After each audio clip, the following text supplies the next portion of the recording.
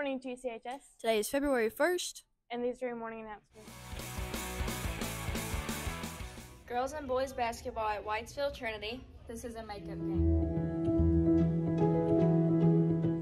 The weather today is going to be a high of 55 and a low of 40.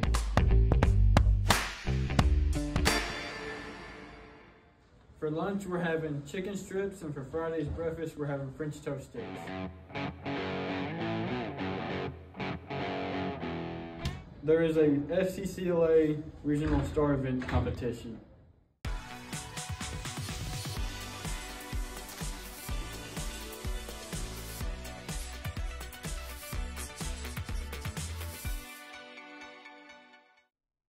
Thank you for watching GCHS, Make sure to like, comment, and subscribe. and have a great day.